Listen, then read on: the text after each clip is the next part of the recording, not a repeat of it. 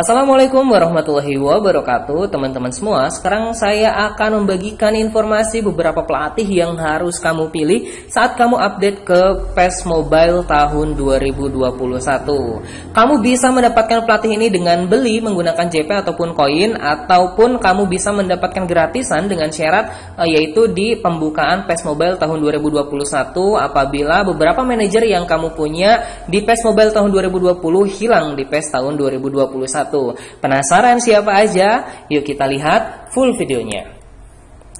Oke teman-teman semua, yang pertama uh, ini adalah pelatih yang paling populer di PES Mobile tahun 2020 yaitu El Roman. Cuma teman-teman semua, sekarang El Roman itu tidak menggunakan formasi 4-1-2-3 tapi menggunakan formasi 4-3-3 ataupun versi kedua dari El Roman di PES Mobile tahun 2021 ini adalah 4 dua satu tiga. Jadi kamu yang mengharapkan dua AMF kamu tidak bisa menggunakan uh, pelatih El Roman lagi. Cuma walaupun si El Roman ini dia menggunakan uh, tiga gelandang sejajar namun tetap El Roman uh, tetap ofensif teman-teman semua. Jadi kamu yang merasa ragu menggunakan El Roman tenang saja karena formasinya masih tetap ofensif. Cuma memang perbedaan posisi saja di sini CMF DMF sama CMF seperti itu. Dan keunggulan dari El Roman ini adalah limitasi dari keterampilan manajernya teman teman-teman semua yaitu 920 jadi kamu bebas memilih pemain bintang untuk dimasukkan ke dalam skuad inti dan juga skuad cadangan kamu seperti itu. Dan selanjutnya yang kedua itu ada J. Laporta atau M. Bielsa teman-teman semua. Nah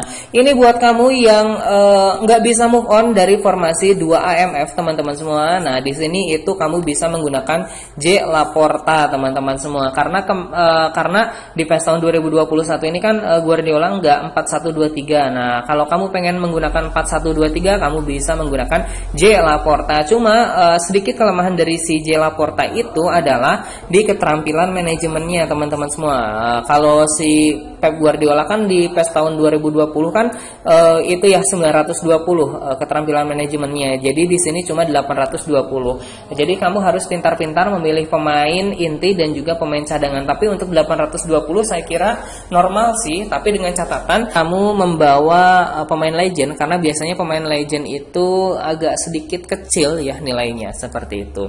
Selanjutnya yang ketiga itu nah buat kamu yang pengen formasinya ultra ofensif atau super ofensif, kamu bisa menggunakan si Ermarik teman-teman semua. Lihat formasinya itu ada empat penyerang di depan, ada dua striker, kemudian ada dua penyerang sayap teman-teman semua dan ini otomatis pasti pola penyerangannya itu adalah counter attack. Uh, jadi uh, buat kamu yang suka main long ball, uh, jemaah long boliah teman-teman semua, kamu bisa uh, menggunakan formasi Ermarik ini karena formasinya 4 2 eh, 4 1 1 3 teman-teman semua. Jadi ini akan sangat mendukung banget buat kamu yang hobinya long ball teman-teman semua. Tapi dengan catatan apa? Dengan catatan LB, CB, CB, RB dan DMF-nya ini semuanya memiliki kemampuan untuk uh, umpan lambung tingkat tinggi atau umpan lambung plus teman-teman semua. Sehingga ketika kamu long ball aman mantap jiwa seperti itu ya.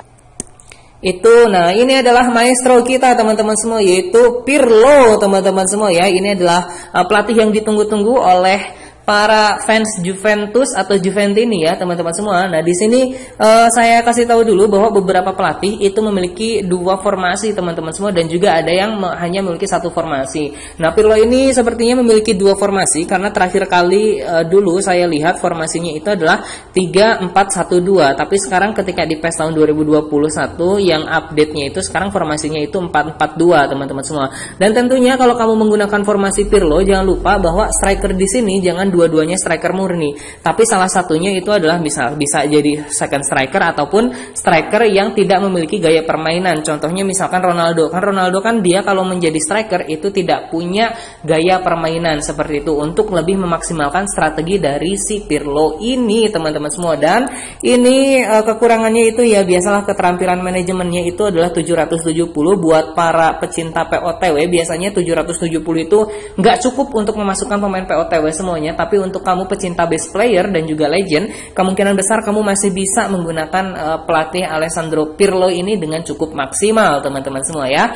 Dan selanjutnya di sini, uh, oke, okay, di sini ada pelatih uh, Arauzini, teman-teman semua ya. Buat kamu pecinta Santos ataupun kamu pecinta Manaut, uh, tapi versi counter attack ya teman-teman semua ya versi counter attack uh, kamu bisa menggunakan si Arauzini atau Giampaolo. Kenapa? Karena sekarang si Santos ini formasinya udah enggak 4-3-1-2 lagi teman-teman semua, tapi formasi si Santos itu 4-3-3. Jadi buat kamu yang di PES Mobile tahun 2020 uh, suka menggunakan formasi 4-3-1-2, kamu sudah tidak bisa menggunakan Santos. Tapi alternatifnya kamu bisa merekrut si Arauzini atau M Giampolo ini untuk uh, menggunakan formasi 4-3-1-2. Uh, keterampilan manajemennya lumayan lah 760 karena biasanya uh, buat pemain-pemain 4312 itu memang dia sudah terbiasa untuk uh, menstabilkan atau menyeimbangkan pemain cadangan dan juga pemain intinya. Jadi uh, walaupun keterampilan manajemen 760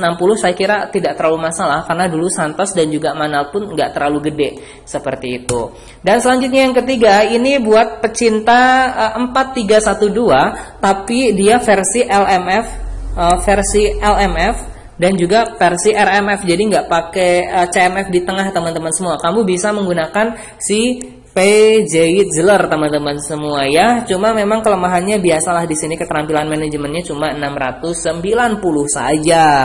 Kemudian yang ketiga, wow, di sini ada Jurgen Klopp ya, teman-teman semua, uh, pelatih terbaik di uh, 2020 ya, teman-teman semua.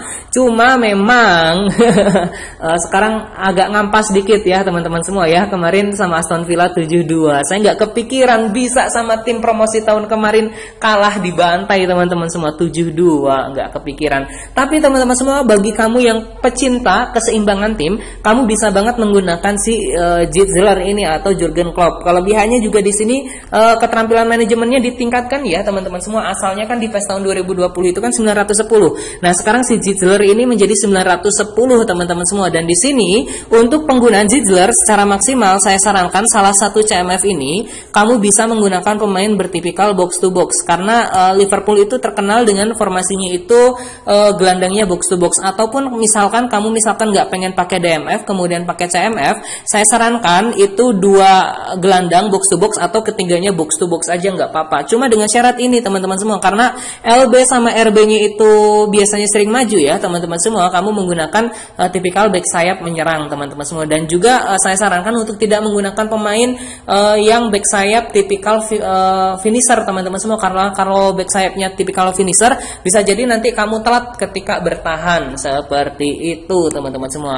Lanjut yang ke selanjutnya itu ada Luis Enrique buat kamu pecinta formasi 4-3-3, cuma kamu uh, biasanya memaksimalkannya dengan pemain yang gelandang bertipikal uh, orkestrator teman-teman semua ya orkestrator. Nah, kamu bisa menggunakan formasi Luis Enrique ini karena memang uh, Spanyol ini terkenal dengan banyaknya gelandang bertipikal playmaker kreatif ataupun orkestrator, teman-teman semua. Jadi, kalau kamu tidak suka dengan tipikal pemain gelandang box to box, maka kamu bisa menggunakan uh, formasi 4-3-3 tapi menggunakan CMF ataupun DMF bertipikal orkestrator, teman-teman semua ya. Tapi dengan menggunakan formasi Luis Enrique ini agar lebih maksimal lagi. Kemudian di sini ada Frank Lampard, teman-teman semua oke okay, ini namanya masih Android ya belum menjadi Frank Lampard. Karena memang uh, lisensi Chelsea sama Konami itu masih tarik ulur teman-teman semua. Jadi uh, sampai saat ini uh, belum ada berita terbaru antara perjanjian antara Konami dengan uh, Inter. Jadi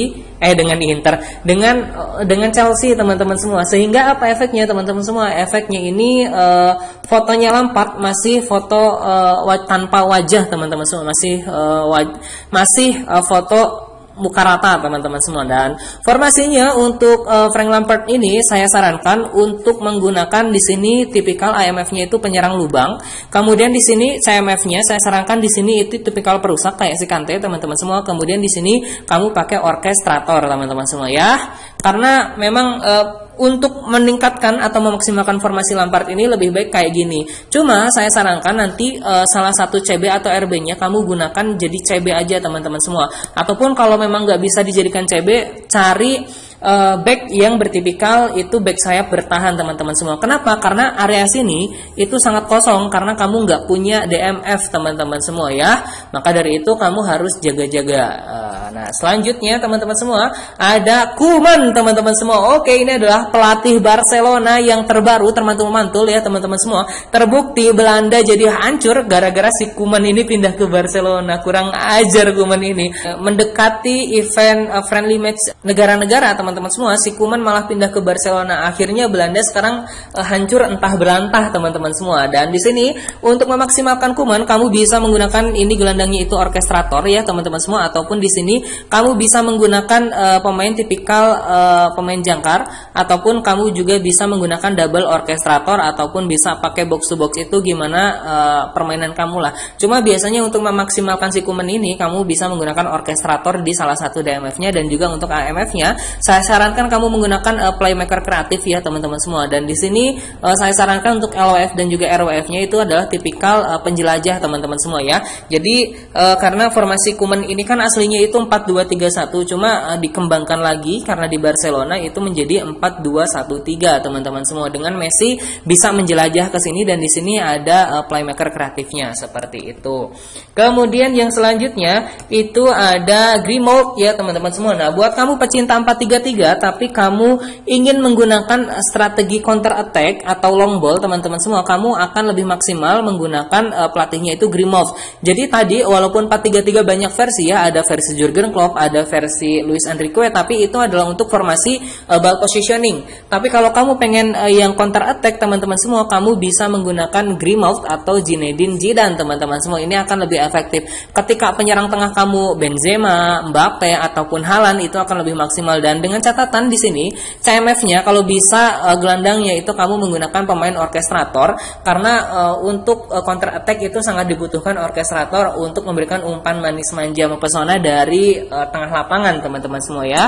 Nah, selanjutnya di sini ada Paulo Fonseca teman-teman semua ya. Buat kamu pecinta 433 eh buat kamu pecinta 344 atau kamu yang biasanya menggunakan formasi Jelo teman-teman semua ya. Buat kamu yang biasa menggunakan formasi Jelo karena di PES tahun 2021 ini formasi si Jelo itu menjadi 4 2 3 1 enggak 4 enggak 3 4 4 enggak enggak 3 4 3 lagi. Nah, kalau kamu pengen menggunakan formasi 3 4 3, kamu bisa menggunakan Faula Fonseca itu adalah pelatih Roma teman-teman semua ya. Selanjutnya itu ada El Scaloni teman-teman semua. Buat kamu yang pecinta strateginya itu adalah false nine teman-teman semua ya. False nine atau tidak menggunakan striker, kamu bisa menggunakan si El Scaloni. Kenapa? Karena si El Scaloni ini dia menggunakan 3 second striker uh, di formasi uh, normalnya ya teman-teman semua. Tapi sebenarnya ini bisa kamu ubah lagi teman-teman semua ya SS-nya. Tapi untuk kamu pecinta SS atau false nine kamu bisa menggunakan Scaloni seperti itu. Kemudian teman-teman semua di sini ada Steven Gerrard buat pecinta Bang Ipul kopi tes teman-teman semua. Bagi kamu yang fans uh, Liverpool akut teman-teman semua kamu bisa menggunakan uh, pelatihnya legend Liverpool yaitu Stevie Gerrard teman-teman semua. Cuma memang formasinya itu masih 4-2-3-1. Ini biasanya identik dengan tim-tim kecil ya teman-teman semua formasi 4-2-3-1, kemudian formasi 5 back ataupun formasi yang penyerangnya cuma satu itu identik dengan penyerang-penyerang atau identik dengan formasi formasi-formasi dari tim-tim kecil. Kalau biasanya tim-tim gede itu formasinya uh, tiga penyerang di depan atau dua penyerang di depan. Jadi uh, silahkan sesuaikan dengan squad yang kamu punya di PES Mobile tahun 2021. Di sini cuma 670 dan sepertinya formasinya juga aman sih 4231 cuma ini keterampilan manajemennya yang bikin masalah seperti itu. Dan selanjutnya untuk para pecinta Mang Ujang atau MU ya teman-teman semua kamu bisa menggunakan pelatih Ryan Giggs legend termantul-mantul dari uh, Manchester United teman-teman semua ya. Di sini kamu uh, sama ya formasinya 4-2-3-1 dan juga ini lebih tinggi ya untuk kemampuan manajernya Ryan Giggs daripada si Gerrard teman-teman semua karena memang Ryan Giggs lebih senior daripada si Gerrard teman-teman semua. Jadi buat kamu pecinta 4-2-3-1 kamu bisa coba uh, Giggs teman-teman semua. Dan di sini ada uh pelatih termantul-mantul oleh Gunnar Solskjaer teman-teman semua ya. Uh, Oke. Okay. Nah di di sini formasi soldier itu masih sama ya seperti PES 2020. Itu dia masih menggunakan formasi 4-2-1-3 teman-teman semua ya.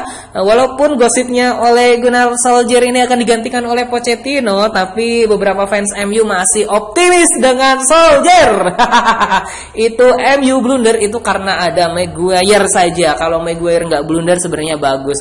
Karena memang uh, di sini uh, MU itu di akhir musim kemarin itu udah bagus banget teman-teman semua. Di sini kan ada Bruno Fernandes dan di sini untuk memaksimalkan saya juga kasih tahu bahwa di kamu harus menggunakan IMF-nya penyerang lubang teman-teman semua. Nah, selam kemudian di sini DMF-nya itu kalau bisa dua-duanya itu box to box. Di sini kan posisinya si Paul Pogba sama si Fred ya teman-teman semua. Ataupun bisa pakai Matic, bisa pakai uh, siapa McTominay dan sebagainya. Jadi saya sarankan untuk DMF-nya ini nggak perlu DMF murni pun nggak apa-apa. Di sini kamu bisa pakai Paul Pogba ataupun di sini kamu pengen mengamankan area pertahanan kamu berarti kamu bisa pakai matik ataupun uh, tipikal pemain jangkar aja teman-teman semua seperti itu dan itu untuk soldier teman-teman semua dan mungkin uh, seperti itu teman-teman semua beberapa pelatih yang harus kamu dapatkan di PES Mobile tahun 2021 karena memiliki uh, permainan atau strategi yang cukup bagus. Jadi kamu tinggal sesuaikan saja dengan gaya permainan kamu. Terima kasih telah menonton. Semoga beruntung.